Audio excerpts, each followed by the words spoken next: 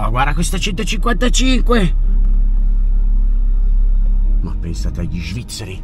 Ciao Miki! Ciao! Ciao Fioi! allora ragazzi, oggi vi portiamo al museo di eh, al museo dell'Alfa Romeo. Andiamo!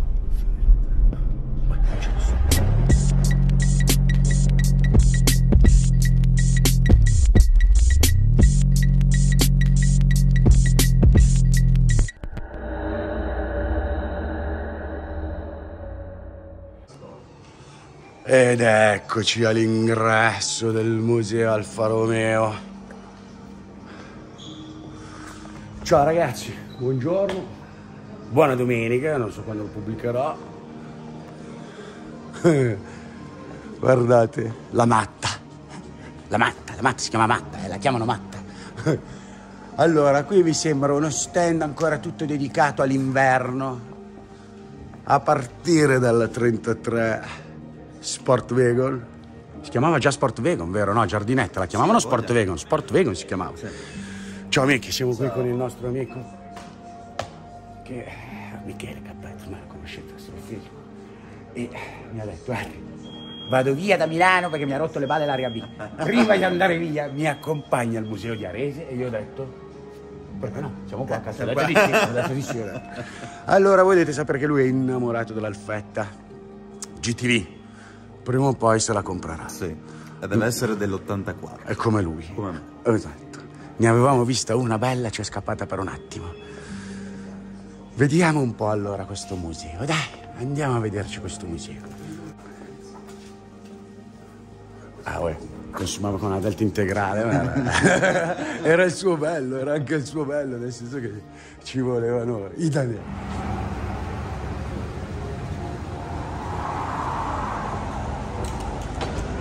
Un occhio sulla pista. Sembra uno specchietto questo.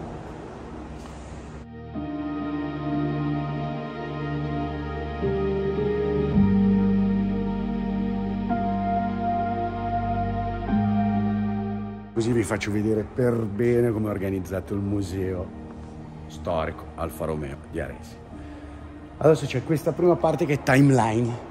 Come vedete si parte da qui 1910 con questa Alfa 24 HP Vedete, c'è tutta una linea del tempo che gira, gira, gira, gira, gira dal 1910, 1990, 2000. Adesso però facciamo il giro come Dio comanda. E allora qui abbiamo una 24 HP del 1910. Memorizzatevela e poi andatevela a vedere. Guardate che belli segni del tempo, non voglio neanche accarezzarlo che è lì da sempre. Poi andiamo qui nel 1911, 15 HP. 1925, il capolavoro di Merosi e la nascita del quadrifoglio. RL Supersport, che bella ragazzi.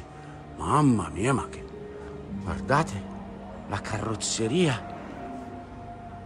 Tutte le battiture sono, dei battilastra queste qua. Dio che meraviglia. RLSS Torpedo Carrozzeria Castagna. Castagna, ragazzi, Castagna. Tra Alfa.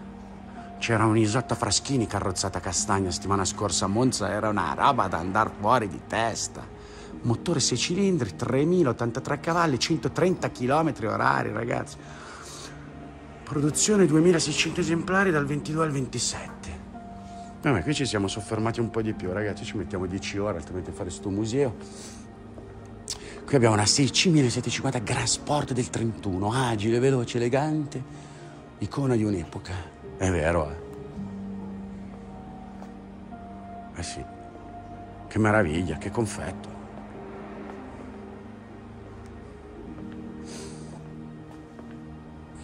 E qui siamo proprio nelle anteguerre.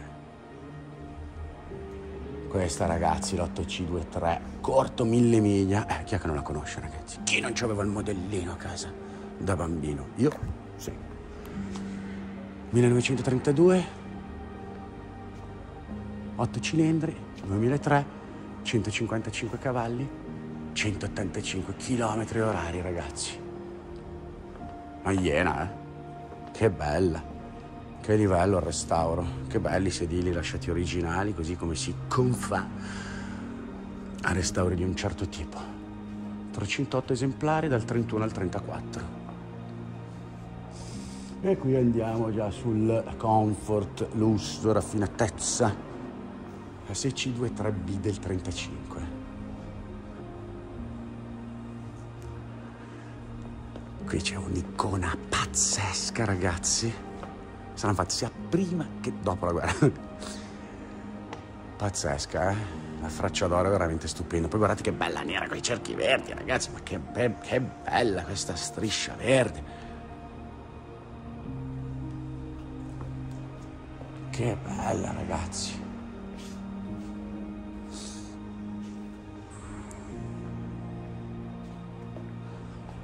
Allora, 680 esemplari, 6C256S dal 47 al 50. Quindi perché cos'è che mi ricordavo di prima della guerra che facevano qua?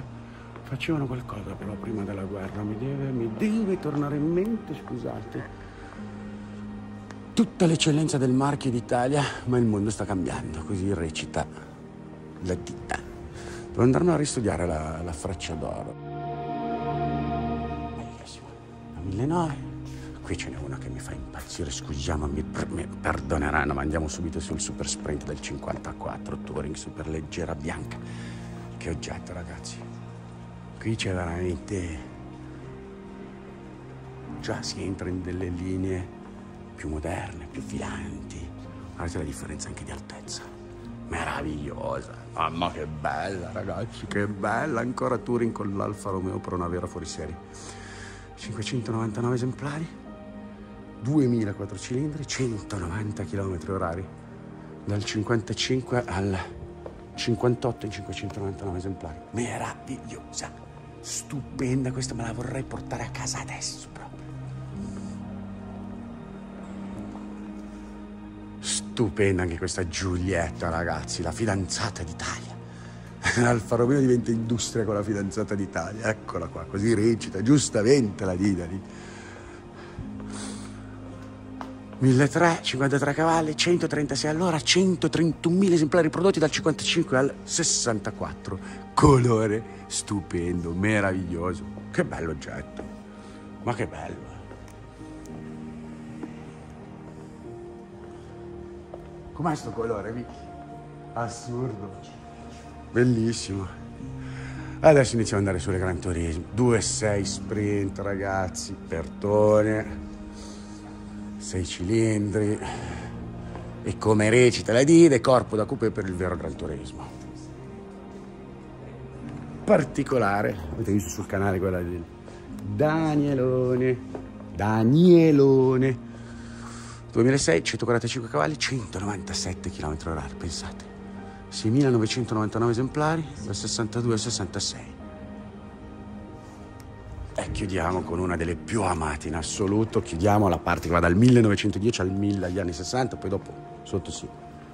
Avanti.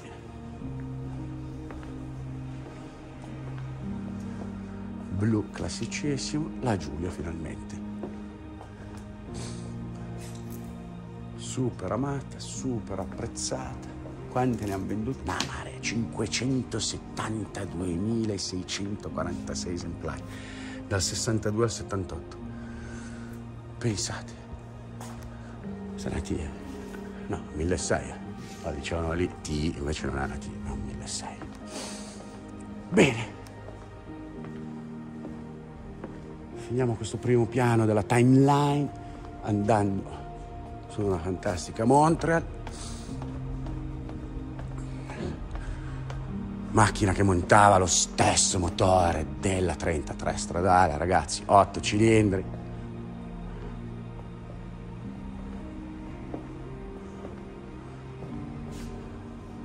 Qui 2006 sulla 33 era 2000 eh, di cilindrata. 8 cilindri, 197 cavalli, 219 km h 300 3.925 Montreal prodotte dal 70 al 77.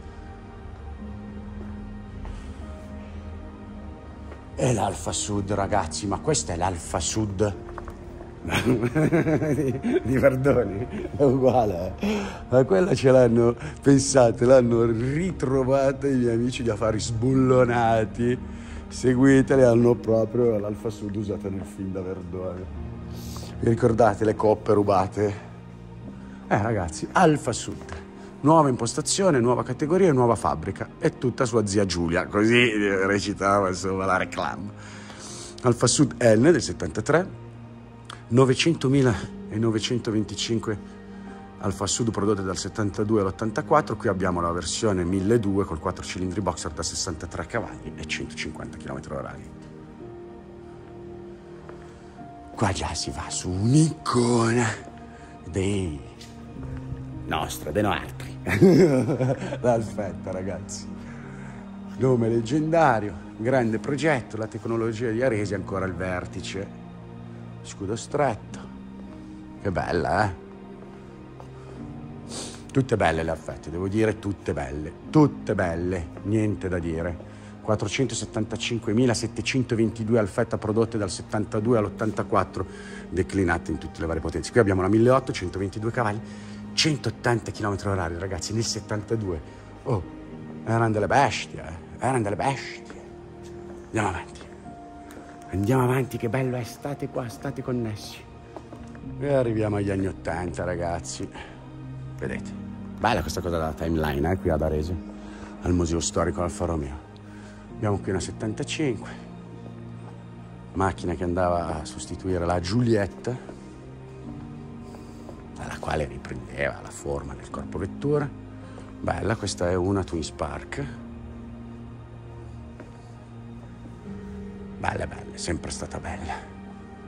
Spark 2148 cavalli, 205 km/h, 386.000 macchine prodotte. La massima espressione della meccanica Transaxle, quindi differenziale cambio al posteriore.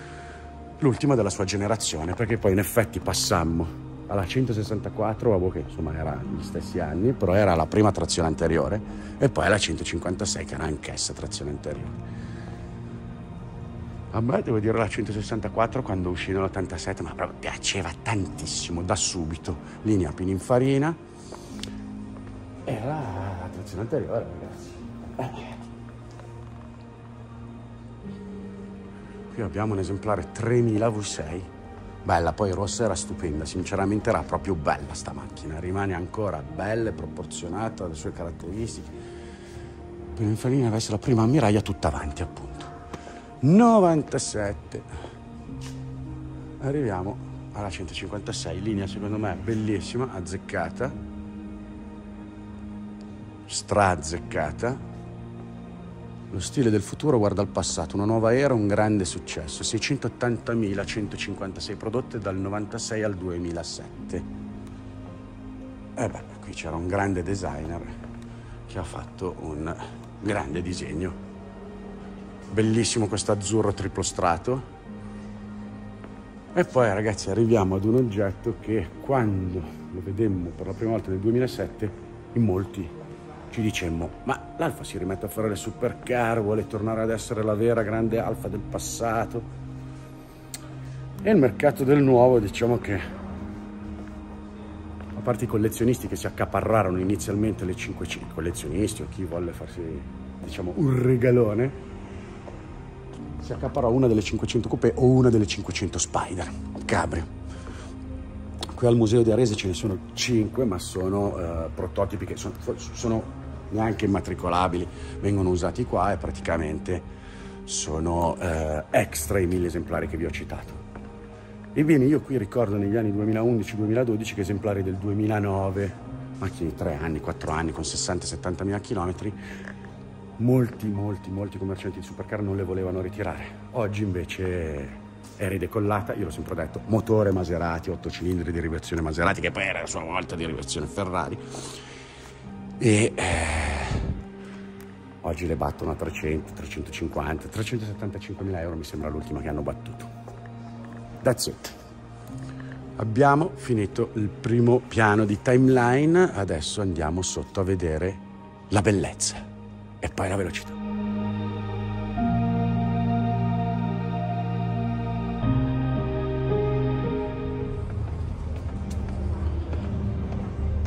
Ed eccoci qui qui entriamo nella sezione bellezza. Ammazza, oddio, oddio, la meraviglia.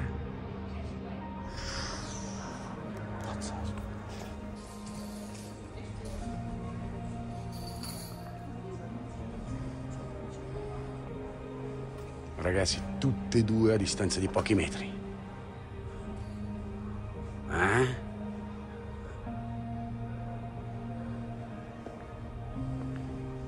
Pazzesco. Non vi fate confondere, c'è scritto 2000 sportiva, questa è la C52 disco volante coupé. Ho scritto, credo il primo articolo scritto, l'ho fatto proprio su questa macchina io. Lo trovate ancora Enrico Di Mauro Motori Online. Guardatela qui, sarà disco volante ragazzi, cioè, guardatela qua in versione aperta, super leggera. Guardate che silhouette, guardate che meraviglia, sentite anche.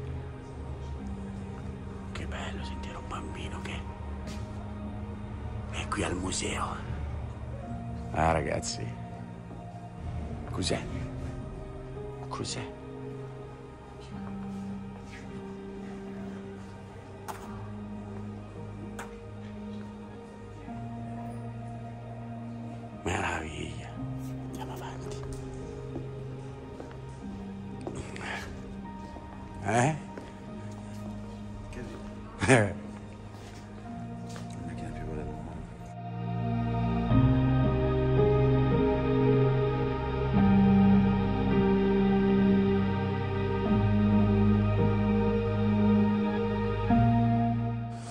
Hai visto le disco volanti, che meraviglia. Puoi avere qua tutte e due, la coupé e la Spider, l'ho detto prima in video. Il primo articolo scritto che ho. Il primo articolo scritto che ho fatto in vita mia è stato su questa macchina.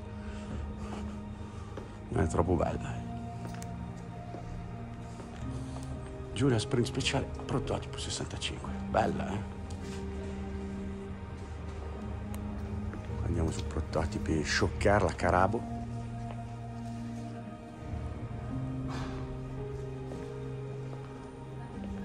Aerodinamica 1913, spettacolo.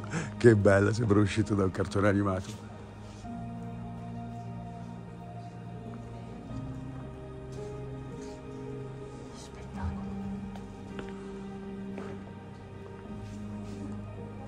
Foto. Andiamo a vederci questa iguana disegnata da Giugiaro, bellissima. Guardate la vernice prototipi, eh, ragazzi. Ma qui c'è un prototipo che mi fa impazzire, una delle macchine per me più belle che abbia mai disegnato, la Pininfarina. La 33-2 Coupé, ragazzi, speciale del 69. Foto. E poi sulla nuvola del 96.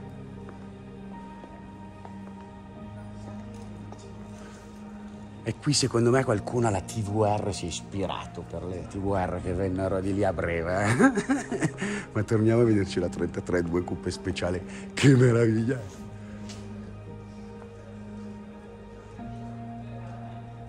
Ah, spettacolo. eh.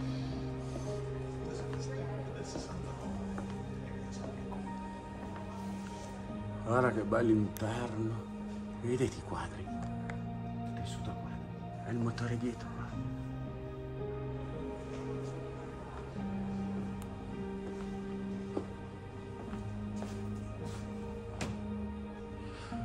Mi fermo un attimo. E adesso qua si va in una zona speciale, speciale. Sono tutte speciali le zone qua, eh. No, ma guarda sti colori pastelli, vado fuori di testa, vado negli anni 30, prima della seconda guerra mondiale. Touring super leggera, guarda che carrozzeria che facevano, ma guarda la bellezza di sto oggetto. Mamma mia, Don Sultano azzurro, blu, 6C23B, mille miglia del 38.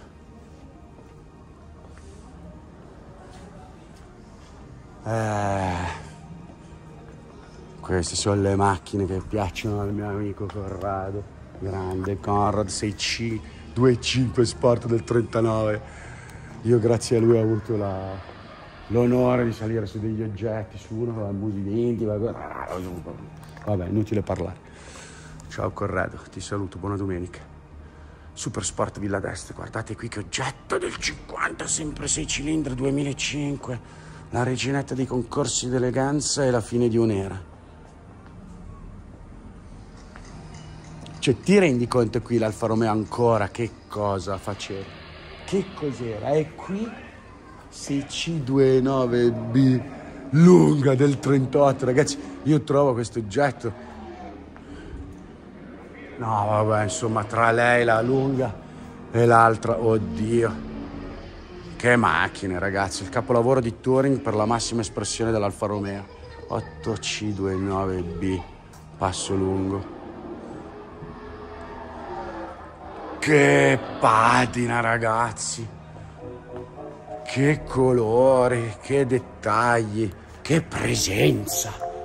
Che presenza. Che macchina. Guardate sto cos'è delicato ed elegante questo questo accostamento cromatico azzurro, come dire, beige caffè latte, non so, mamma mia. Sto male, mi sento male, spengo tutto qualche minuto.